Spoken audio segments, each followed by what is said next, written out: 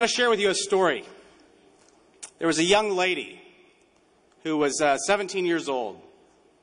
All of a sudden, found herself in an unexpected pregnancy.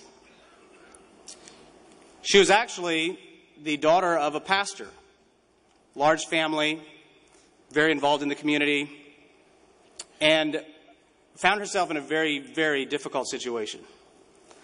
She didn't know what to do. She didn't know who to talk to.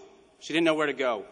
On top of that, her family, her, her father and mother's home, where her and 10 children lived, burnt to the ground. She had lost everything. She actually found herself laying on a floor one night in a neighbor's home, crying and sobbing because she didn't know what to do. She knew that if she could get to Kalamazoo, Michigan, there was an abortion clinic there. She knew that if she could just find a ride, find a car to get to the abortion clinic, she could take care of this problem. She was sobbing, she was crying. One night, some of the other people in another room heard her crying. And uh, she knew that uh, the secret was no longer, uh, she wasn't going to be able to hide this secret much longer.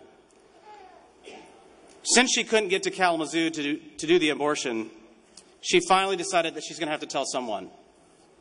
And so she told her mother. She didn't want to tell her boyfriend. She didn't know what he would say. She didn't want to tell her pastor, her father. He was a pastor. Of course, he would be embarrassed. But her mother was a lady that she finally decided to trust. And my grandmother grabbed my mom and told her it was going to be okay.